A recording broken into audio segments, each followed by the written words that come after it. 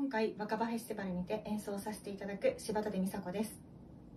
現代のピッチより半音低い 415Hz のアルトリコーダーでテレマン作曲の音楽の練習帳からそのた波長長を演奏いたします。